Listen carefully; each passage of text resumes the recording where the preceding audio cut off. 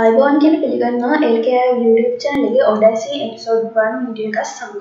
ඉතින් මම අද ඔයාලට කියලා දෙන්න යන්නේ Audacity ගැන විස්තර කිව්වේ සෝමයක් රෙකෝඩ් කරගන්නේ කොහොමද කියලා. ඉතින් ඒ ගැන මම ඔයාලට episode දෙකකින් විස්තර කරන්න බලාපොරොත්තු වෙනවා. අපි මුලින්ම බලමු Audacity කියන්නේ මොකක්ද කියලා. Audacity කියන්නේ අපිට Google ගිහිල්ලා free download කරගන්න පුළුවන් audio software එකක්. ඉතින් අපි ඊට පස්සේ බලමු instrumental song එක කොහොමද ලේසියෙන් download කරගන්නේ කොහොමද කියලා. ඒ සඳහා ඔයාලට භාවිතා කරන්න පුළුවන් MP3 Pro කියන ඇප් එක. ඒ ඇප් එකෙන් ඔයාලට ලේසියෙන් instrumental song එකක් download කරගන්න පුළුවන්. ඊට පස්සේ Audacity කියන software එකේ song එක open කරගන්න කොහොමද කියලා බලමු.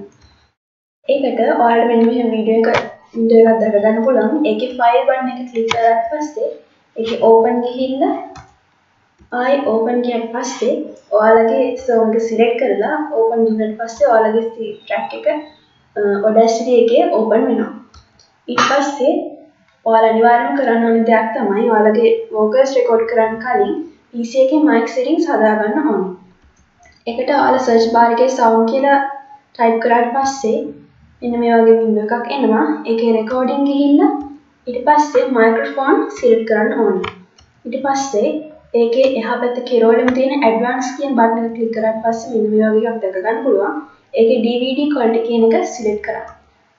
ඉතින් ඊට පස්සේ ඒක ඇප්ලයි කරලා ඔයාලට PC mic setting එක හදාගන්න පුළුවන්. ඊට පස්සේ අපි බලමු song එක record කරගන්නේ කොහොමද කියලා. ඒකට ඔයාලා මේ tracks කියන button එක click කරලා ඒකේ add new ගියාට පස්සේ stereo track කියන එක select කරන්න ඕනේ. ඊට පස්සේ ඔයාලට මෙන්න වගේ window එකක් එනවා. ඒකේ ඔයාලා දැන් record කරනකොට අනිවාර්යයෙන්ම මතක තියාගන්න මෙතන මේ ඊතලේ දාලා තියෙන තැන අනිවාර්යයෙන්ම click කරන්න ඕනේ. නැත්නම් song එක record වෙන්නේ නැහැ. ඔයාලගේ vocals දෙන්න තමයි එහෙම කරන්නේ.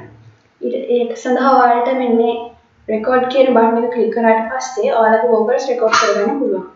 ඔයාලා රෙකෝඩ් කරලා ඉවරනට පස්සේ අනිවාර්යයෙන්ම ස්ටොප් කියන බටන් එක ක්ලික් කරන්න ඕන. ඊට පස්සේ ඔයාලා මේ ඔයාලගේ ප්‍රොජෙක්ට් එක සේව් කරගන්න ෆයිල් ගිහිල්ලා සේව් ප්‍රොජෙක්ට් කියාට පස්සේ ආපහු සේව් ප්‍රොජෙක්ට් ගිහිල්ලා ඔයාලගේ ට්‍රැක් එක සේව් කරගන්න පුළුවන්.